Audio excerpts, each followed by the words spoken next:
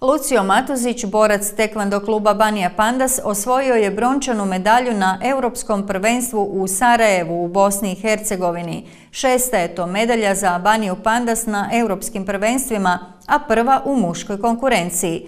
Naša županija na ovom je natjecanju trebala imati dva predstavnika, no jedan je bio pozitivan na testiranje na koronavirus, pa je Matuzić na kraju bio naš jedini predstavnik.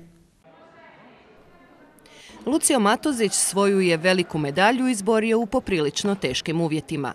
Naime, zbog nepovoljne epidemiološke situacije i oštrih mjera, bilo mu je zabranjeno treniranje, pa se za ovu europsku smotru pripremao online.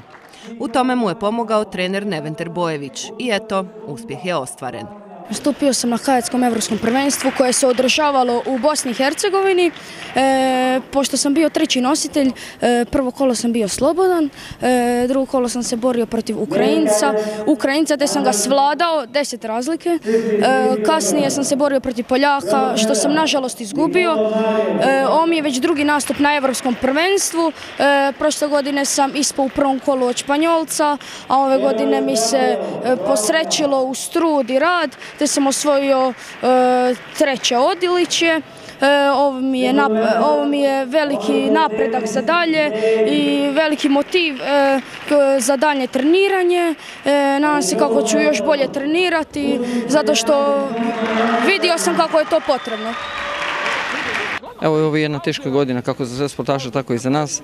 Vrlo sam sretan s obzirom na cijelo ovo stanje koje smo imali tijekom cijele ove godine. Malo treniranje pa ne treniranje, da li će se ići na prvenstvo Europe, da li se neće ići. Evo na kraju u zadnji tren smo, su se čelnici odlučili da idemo na to prvenstvo.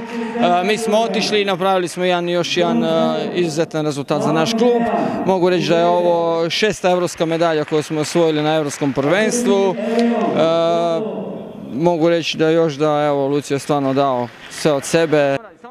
Na ovako velikim natjecanjima iznimno je važna taktika. To će vjerojatno reći svaki trener, neovisno o vrsti sporta.